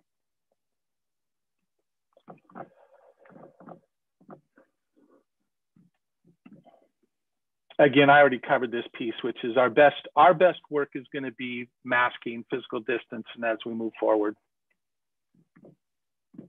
So as we do this, um, every school will need somebody who's out there, not only the administrator who's in basically in charge of um, creating the blueprint um, and making sure that the blueprint is rolling, but they'll need somebody in the school also just to be a um, person to go through and make sure that we're upholding those safety requirements. So as part of um, our hiring, we talked about it a while ago, is to increase the number of health um, assistants in the school who can begin to do some of this um, COVID related work for us. There's um, a lot of contact tracing that we will have to do, and we're also going to need help with that. Um, our current folks who are doing that, when we start introducing school uh, students back into the school and more staff, it's just going to be a much, much larger job. We've already got protocols to notify our public health. So those parts that I think of those parts of our system are already working fine. Um, I will, we are, schools are beginning to turn in kind of their initial, um, you know, we had this summer, we created blueprints. We now have kind of a shorter guide that gets right at all of the various things that we need them to set up. Um, I'll make sure that the board has access to see some of these, um, some of the schools' blueprints. We'll also post them to our web pages, that kind of thing. Limited in person. So we are moving forward with some limited in person in the school district. Um, we've got, the high school is working with a um, kind of ELL focused limited in person right now. Our other elementaries um, are kind of creating programs right now. We've seen some limited in person at OGA. They'll, in the beginning of February, is when we're kind of pointed at starting some of this work. Um, all the students stay in CDL. This limited in person is meant to be a support um, bringing kids in to support their work in CDL. So if they don't, it doesn't change kind of what we're doing out in CDL, or maybe it augments what we're doing in um, CDL. It's aimed to meet the needs of specific groups of students based on educational, relational, social, emotional, curricular um, cohorts of no more than 20 students. Um, and then the time on campus is still two hours or less. So it's not a long time that we're working on right now. And then we'll continue to kind of evolve these health systems as we open, begin to open the schools back up.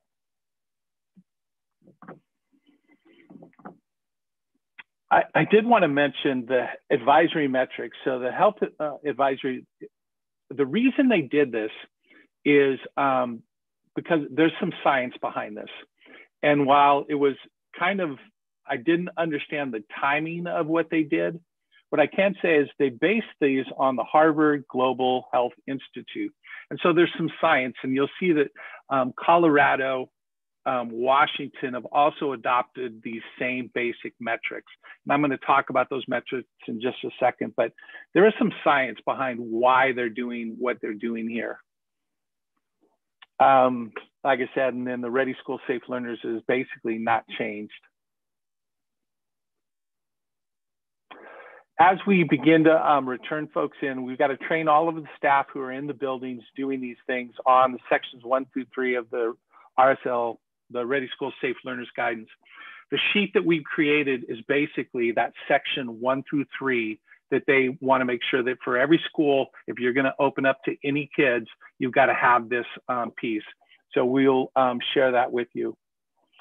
We'll continue to provide a comprehensive distance learning model for any student um, who wants to, or parents or family who wants to stay in CDL. Um, so as we're making these transitions, again, we want to leave, make sure that families are comfortable with the decisions that they're making. Um, then we'll work with families to serve all students, even those high-risk populations, whether learning is happening through on-site, hybrid, or CDL. So the changing guidance, so this is it written out, but I think it's easier. I'm just gonna move right to the visual here. So this is the new guidance. And what I wanna, um, in the green column, basically in the, what's important for our district is the top, um, top white box um, where it says county case rate um, per 100,000 over 14 days. The next box down, county case rate over 14 days, is really only for smaller districts. So it doesn't even apply to us. And then the third box down, third white box, county test positivity, those numbers are again, those are valid for our um, district. In the first column in green, with less than 50 cases per 100,000 over 14 days, that's where they want us, they, they believe that we should be operating in school full time.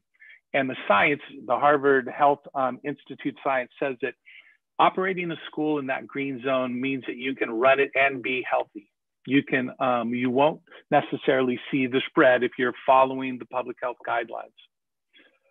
Then the next column is one that's changed in these new metrics. It used to be 50 to um, 100. they've opened it up. It now goes 50 to 200. And in this um, yellow should be where we have K6 is on site, and then we're running hybrids in some of the other areas. The orange um, piece used to be um, 100 to 200. It's now 200 to 350. And our current numbers that I just talked about a little is we were at 332, 339. I think we're now at somewhere around 290. So we're starting, we are now beginning this fall right into this orange um, area where we should begin to look at um, kind of some transition um, towards school. Um, and then again, above 350 is where the state um, would like us to see us. If you're above 350, then you should be moving towards um, CDL. So before I move on, questions about these are the new metrics. Really, it's just the dividing line between yellow and um, orange that's kind of changed there. It's pushed out quite a bit.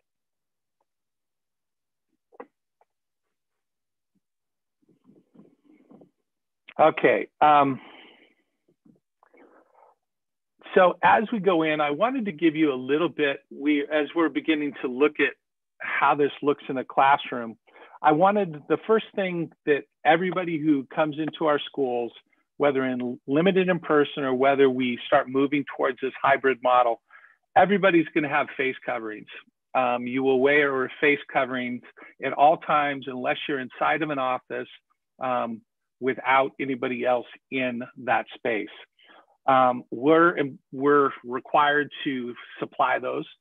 Our, our um, elementary teachers uh, have a, in teaching explicit phonics, there's parts of that where you have to be able to see um, your lips move. And so at some point during the lessons, there may be um, times where our teachers are going to have a face shield on and have to take off their mask to perform the phonics part of this. Still working through all of those issues, but just wanted to bring up that that's a um, that's out there. Um, again, this is kindergarten and up. Everybody wears a face shield. Um, individuals may remove face coverings while they're working alone in private offices. Here's kind of what 35 square feet in a classroom would look like. So it, um, at the beginning of this, we're going to have room for 15 kids, 11 kids, kind of depends upon the room and the space. But I wanted to give you kind of a visual. Again, we've also got built into these classrooms kind of walking lanes and spaces for, you know, the teachers who have been kind of modeling this, have been trying to think through all of the things that they would do in a classroom.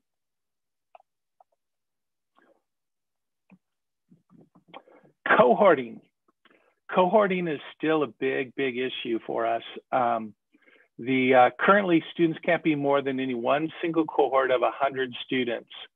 Um, at the elementary level, I think that's a very elementary, really K6. I think that's a very doable thing for us. Once you get over a K6, 7, 12, trying to um, operate within this cohort rule of 100, I think is a very I, it's it's not possible is to operate within this rule that I that I know of. Um, all of our Washington County school systems are spending a lot of time talking about this right now.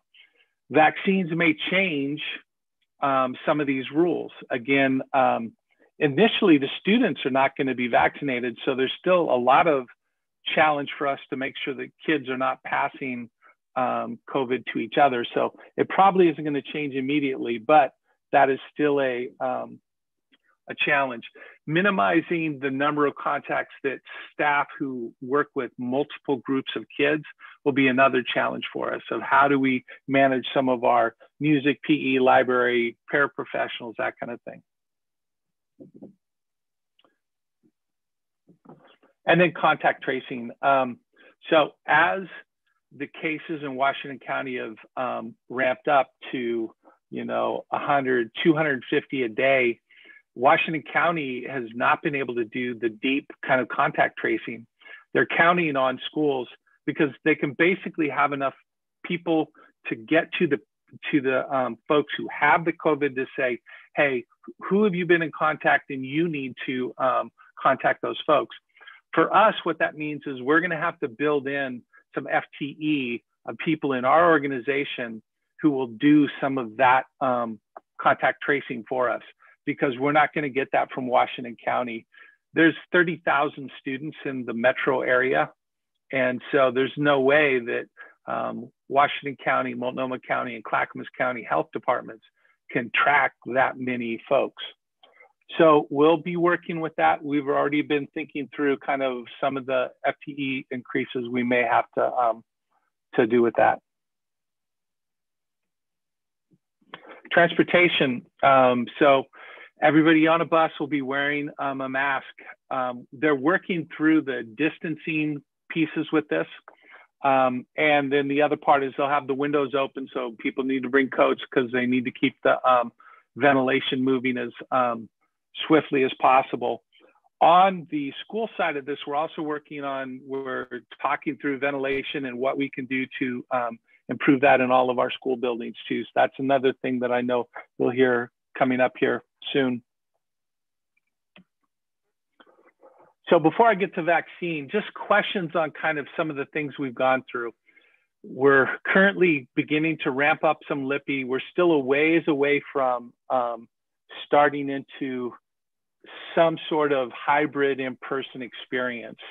Um, in particular, the vaccine is really one of the limiting factors for that. I'll tell you more about that coming up, but if you've got questions, I could take them on just the material so far. So I have a question, Dave. Um, I, at what point, you know, we talked about, we adopted the five week um, transition, I guess, from, well, I guess, from CDL to maybe hybrid. Yeah. Or totally in person. At what point, I mean, it, first of all, is the five week period still something we're going to follow? And, and what initiates that five weeks? Can I hold that question mark? Because um, yep. I think it it becomes uh, super relevant as soon as I finish the vaccine part of this. Okay. Okay. Other questions? David, okay. are, are you going to send ahead. it to us or have you already? Yes. Okay. I will send it to you. Um, some of the vaccine stuff changed this afternoon. So um, that's I'll I would be happy to, and if you have more questions, then I'm I can answer those. Thanks. okay, so here's what's going on with the vaccines. Um, again, this has been changing daily right now. Changed over the weekend. Oregon Health Authority and all the major health systems in the area have are developing plans, and we've been working with them through our, through our ESD for mass vaccination site at the Portland Convention Center. There's also one at the airport, but basically the the convention center is the one that they're kind of laying out for educators to get um, vaccinated at. They're scaling this to provide approximately 30,000 educators in the metro area their vaccinations through the site. Now, over the weekend, that changed a little bit with the addition of all the early learning and um, private school um, educators. And so it adds about another 25,000 um, um, folks who need to be vaccinated. So they're rescaling kind of how, how they're going to go about getting this done the logistics are coming together. Tomorrow, I will, we will be, we will get an email kind of um, with more details that we will send out to our staff that will kind of lay out how, what process they go through to um, get scheduled for a vaccine. The way this will work is, is that they will, um, the, we identified kind of a set of priorities for folks in the organization to be vaccinated. Then over the weekend, OHA kind of took over that and they've kind of outlined who they want to get um, um, prioritized. It, it's not a mystery. The, um, it was the big thing was trying to get our K um, pre-K through four vaccines earliest, and then probably secondary later. People who are working with kids in LIPI, we're trying to get them into the front of the line because they're already interacting with kids. so it, it, it's all very logical in what they're wanting. And the key point here is everybody who wants to get vaccinated can and we will make that happen. But just the amount of vaccine is limiting the um, how and how this is going to happen um, the governors stated a week and a half ago they were going to start on, I think, December um, 25th. I think it's now moving to the 27th. So it's pushed back a couple of days as we're getting organized. Um, the current plan, the original plan had us all educators getting their shots in three weeks. Over the weekend, that changed. Now we're still on four weeks, though. Um, we'll see um, I'm, I'm, that's, that's good. If, I mean, the, the sooner that we can get folks their shots, the better off we are. From first shot to immunity is about 42 days. And so you've got um, 42 days is uh, seven, six, you know, six weeks. So Mark, I think the um, part of the answer to your question about when we might be able to start. I think yes, I think five weeks is a good time frame for us.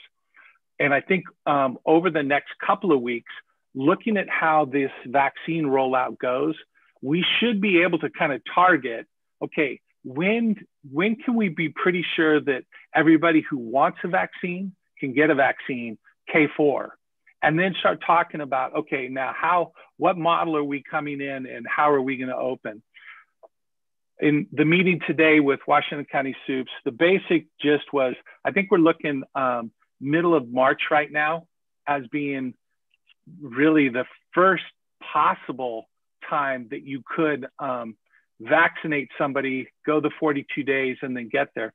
So um, I'm not sure we're going to hit that exact mark because of this first week of vaccine. I'm, I'm anticipating will be chaotic um, as they're trying to get this system down of how folks will drive into Portland into the convention center and how they will, you know, we got to get all of their logistics all set. But that gives you kind of an indication of where we're at. And I think hopefully in the next couple weeks, we will know like how this vaccine rollout is going.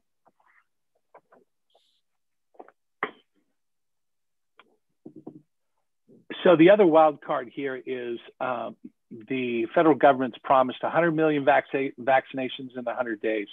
Um, there's a third um, vaccine that will also get approved. I, I should get approved. Um, the Johnson and Johnson. It's a one-shot um, dose. We're hearing some good, encouraging things to begin with. If that one also comes on board, that should actually speed up a lot of stuff for us. Um, tomorrow, I mean, our first teachers can have an opportunity to get vaccinated on Wednesday. Um, I don't have the directions yet. So, I mean, we're still waiting for that to come out of OHA. As soon as we get those tomorrow, we'll be giving that to our teachers to begin scheduling themselves in for um, for the. So it's it's going. Um, there's just still lots of um, chaotic things about it. And that's everything I know right now and where we're at. Um, lots of decisions still out in front of us as far as kind of this hybrid model. And but I still think the five week time we have. I don't think we've started that five week yet, but I think we're getting closer to being able to kind of know, okay, here's where we're going to aim for. Hi, Dave. Thanks for sharing this presentation. There's some some hope. I was wondering what we're going to do um, about staff who does not want to be vaccinated. So we're still talking through this um, with our, our union groups. This will be part of the working conditions, but here's the basic gist, which is we're not going to mandate um, that everybody has to take a vaccine. But at some point, we're going to need our teachers in the building because of without it we're not going to have class sizes are going to increase. So there's a point here where we're going to say you have to report and you can report unvaccinated and mask up and stay um, you know keep you know, physical distance and do the other public health things. Um, you could, uh, there's, we still, if you're a person of high risk or something, you would meet with us in what they call an interactive process. And we would talk through whether or not we could accommodate your, your situation. We already do that with lots of different health related um, things right now. You would use that same process. Um, or you have to take applicable leave or you could resign. I mean, I don't mean to be um, harsh with that. It's just that there's a reality here that we, at some point, we've got to run school again. And if you're not vaccinated, there's only a limited number of choices. Now, I still have to bargain that with the union. So that may, there may be some things that change slightly, but I don't, I think those are, those are the pretty standard kinds of things out there. Yeah, that, that seems pretty pretty fair to me. Um, I've heard other cases where people haven't wanted to have the vaccine and they might work at a doctor's office or, or something of the sort. They just have them sign a liability waiver. So I don't know if that's something you need to talk to the union or Brian Hungerford about, but it may be something sure we, I, yeah. Yeah, I'm not sure if we would be liable, but I think it's something that should we should think about. I don't think we're liable because of the legislation was, that was passed, but I'll write that down and we'll check in and make sure that I'm, I'm not sure where we're at on that yet, but at some okay. point we are going to have to um, deal with that. Okay, thanks. Dave, um, when do the teachers go to get this vaccine? Is it during their working day or is it after school or in the evening? So we're working on those details right now, but it basically runs um, all day and into the evening is when this session will be open. But I'm going to hold on describing it right now, Kate, just because I've talked to a couple of our union folks about it. But um, I, what I want to assure you is we're going to be, we want people to um, get vaccinated. That's that's the quickest way for us to get back to school. So we're working really hard to create a really fair situation for that to happen. But I don't want to announce it at the board meeting before I've had my um, conversations. Yeah, um, I- have heard from some teachers that have been concerned that they would have to take a half a day off or that they would um, have to use their personal leave. Um, and, um, you know, concerns about uh, who takes over their classroom because if they have to sign up for an appointment, um, you know, can some of this um, government money be used so they don't have to take their personal leave? So I'm sure that you're talking to the union all about that, but I um, yeah. and I know that you will work with them, but the the big issue is to make sure everybody gets vaccinated.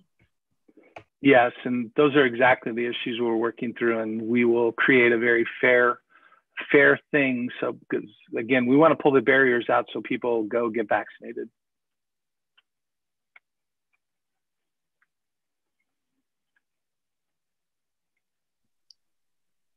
I guess I just have one one question, or David. Are we in line with the other districts around us in terms of process and kind of? I mean, are we having? Are you having the same discussions with them about where they are and what their plans are? So we're all kind of moving of in the same direction. Yes, and in particular, I meet with, we meet weekly right now. It's just been too much and probably more than that. Um, they've pulled together a separate group of our people to work on the vaccine logistics part. So Kevin Noreen has been meeting with other folks from other districts to kind of talk through that. Um, we are on scale. What you will have noticed, there were two school districts that announced that they were going to open um, February, whatever. Both of them have now rescinded. Um, both um, the Redmond School District and Lake Oswego both said they cannot meet that deadline. And the reason has to do with kind of we need access to our whole staff. And we, we're not going to have that until we walk through this vaccine piece. Um, so the other school district, I was just talking to them today, they're all looking at the same basic thing, which is um, the time with which it's going to take our K4, pre-K through four, um, to get through their two vaccinations is really the really the time that we can look at pulling back more kids to school.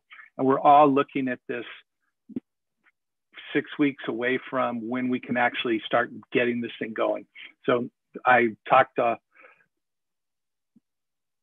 all of them, Tigard Tualatin, um, Hillsboro, Beaverton are all in the same basic um, piece. The, the models we're looking at are um, similar. So um, yes. Thank you. I think, I think that's a smart move in terms of just making sure that people are kind of moving in the same direction so we don't have, I just think it's a good idea. So thanks.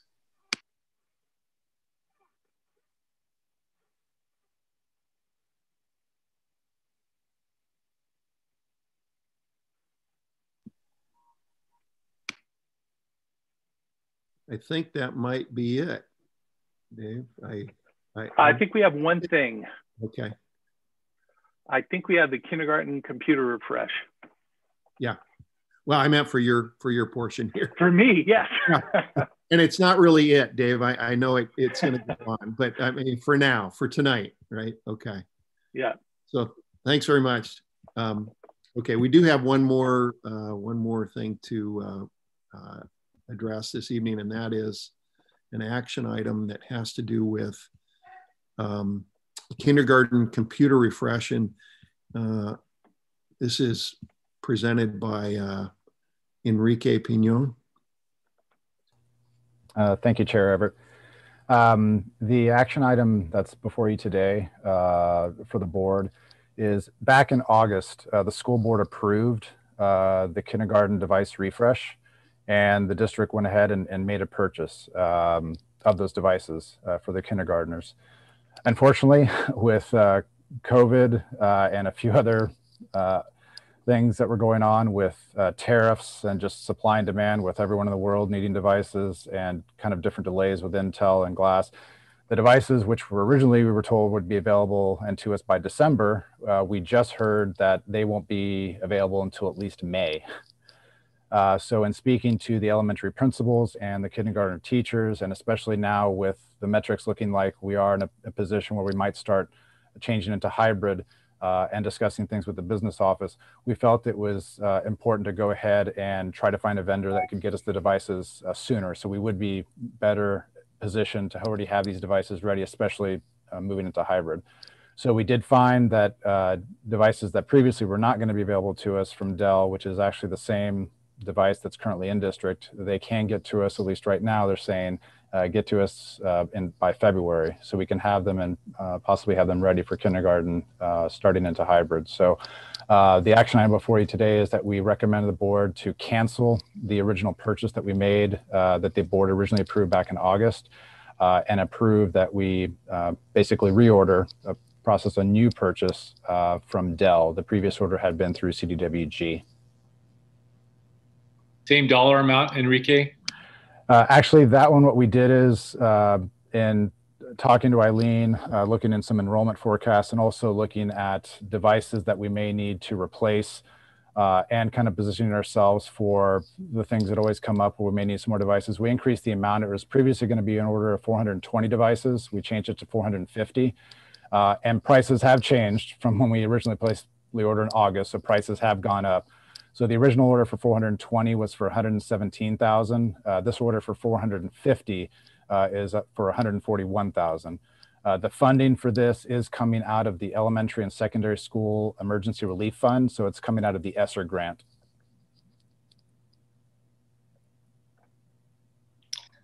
Okay. Want me to make a motion, Mark? Yeah, do we do uh, two, uh, Kathy, or do we just do one? I think you can do one motion that says to cancel and cancel and then, yeah. Okay. Re right. Redo it with Dell. Sure. Go ahead, Brad. So I move that we cancel the original kindergarten computer refresh um, order. And I move that we accept the new order kindergarten computer refresh as described by Enrique tonight. Okay, I'll second that.